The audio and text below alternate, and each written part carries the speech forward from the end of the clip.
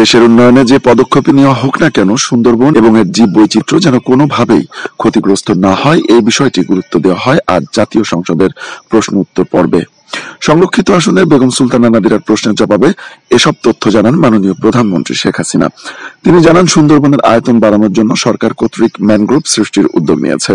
সমগ্র উপকূলীয় অঞ্চলে এর বিস্তৃতি ঘটানোর পদক্ষেপ নেওয়া হয়েছে।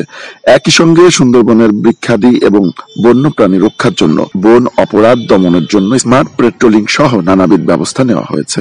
দুর্নীতিতে পাঁচবারের বিশ্ব চ্যাম্পিয়ন এবং হাওয়া ভবনের প্রতিষ্ঠাতা বিএনপির মুখে দুর্নীতি বিরোধী বক্তব্য ভূতের মুখে রাম নাম বলে মন্তব্য করেছেন আওয়ামী লীগের সাধারণ সম্পাদক উবায়দুল কাদের। আজ বুধবার সকালে তার সরকারি বাসভবনে নিয়মিত ব্রিফিং কালে কথা বলেন মন্ত্রী।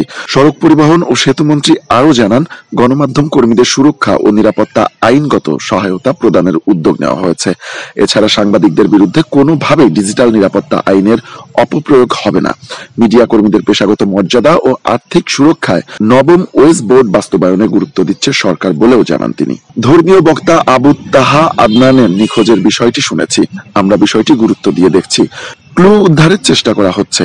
আজ গাজীপুরে কালিয়াকোর উপজেলার শফিপুর আনসার ভিডিপি একাডেমিতে একুশতম ব্যাচ পুরুষ রিক্রুট ব্যাটালিয়ন আনসারদের ছয় মাসের মৌলিক প্রশিক্ষণ সমাপনী কুচকাওয়াজ অনুষ্ঠান শেষে সাংবাদিকদের প্রশ্নের জবাবে। এমনটি জানান স্বরাষ্ট্রমন্ত্রী আসাদুজ্জামান খান কামাল। তিনি বলেন, আমাদের আইন শৃঙ্খলা বাহিনীর রিসোর্ট হোক আর বার হোক, যেখানেই আইন ভঙ্গ হবে, সেখানেই ব্যবস্থা নিচ্ছে এবং ভবিষ্যতেও নিবে। সুস্থ সমাজ গড়ে তুলতে হলে ধূমপান ও মাদক মুক্ত সমাজ গড়ে তুলতে হবে। তরুণদের এ বিষয়ে আরও বেশি সচেতন করতে হবে। সরকারের কঠোর পদক্ষেপের কারণে এটি অনেকটা কমেছে। আজ সকালে ঢাকা রিসোর্ট ইউনিটিতে ল রিপোর্টার্স ফোরাম আয়োজিত তামাক নিয়ন্ত্রণ আইন সংশোধনের প্রয়োজনীয়তা শীর্ষক কর্মশালায় প্রধান অতিথির বক্তব্যে তথ্যমন্ত্রী ডক্টর হাসান মাহমুদ এমনটি জানান। তিনি আরও বলেন, বর্তমানে কিশোরদের সামাজিক যোগাযোগ মাধ্যমের আসক্তিও বেড়েছে। এ বিষয়ে ক্যাম্পেইন চালিয়ে যাওয়া জরুরি।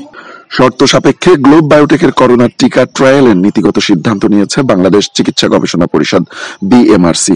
আজ বুধবার ষোলো জুন দুপুরে বাংলাদেশ চিকিৎসা গবেষণা পরিষদ, বিএমআরসি, এ সিদ্ধান্তের কথা জানিয়েছে। গত বছরের আঠারো অক্টোবর গ্লোব বায়োটেকের তৈরি করা তিনটি ভ্যাকসিনকে প্রি ক্লিনিক্যাল ক্যান্ডিডেটের তালিকায় অন্তর্ভুক্ত করেছিল বিশ্ব স্বাস্থ্য সংস্থা।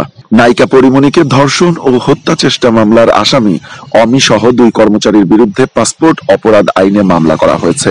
দক্ষিণখান থানা পুলিশের অভিযানে অমির অফিস থেকে একশো দুটি পাসপোর্ট জব্দ করা হয়েছে। মঙ্গলবার রাত এগারোটার দিকে পরিমণির বন্ধু তুহিন সিদ্দিকি অমির অফিসে অভিযান চালায় সাভার থানা পুলিশ। তবে অমির অফিসে কি পাওয়া গেছে তখন সে বিষয়ে গণমাধ্যমকে কিছু জানায়নি পুলিশ।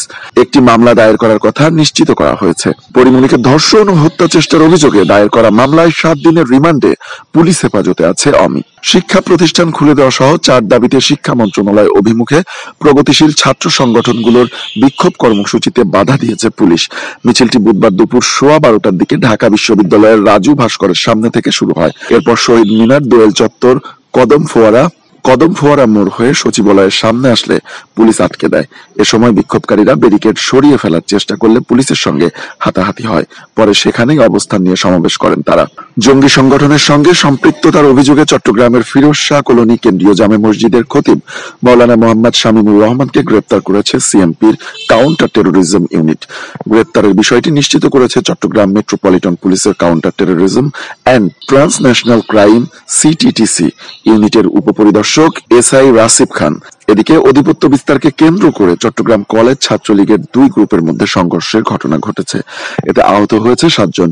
আজ দুপুর পৌনে একটার দিকে নগরের চকবাজার থানায় প্যারেড কর্নার এলাকায় এ ঘটনা ঘটে। বিবাদমান দুই গ্রুপের মধ্যে এক গ্রুপ চট্টগ্রাম কলেজ ছাত্রলীগের সভাপতি মাহমুদুল করিমের সমর্থক ও অন্য গ্রুপ সাধারণ সম্পাদক সুভাষ মল্লিকের সমর্থক। সরকার দলীয় ও বিরোধী আইন প্রণেতাদের সংঘর্ষে কার্যত রণক্ষেত্রে পরিণত হল পাকিস্তানের parliament.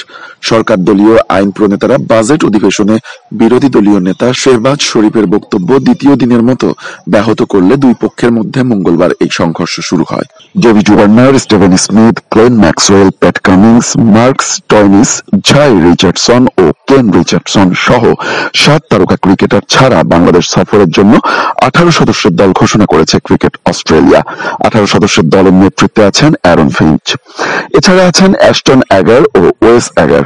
Jason Behrendorff, Alex Carey, Dan Christian George Hazlewood Moises Henriques, Mitchell Marsh Ben McDermott, Riley Meredith, Josh Philippe, Mitchell Starc, Mitchell Swepson, Ashton Turner, Andrew Tye, Matthew Wade, Adam Zampa.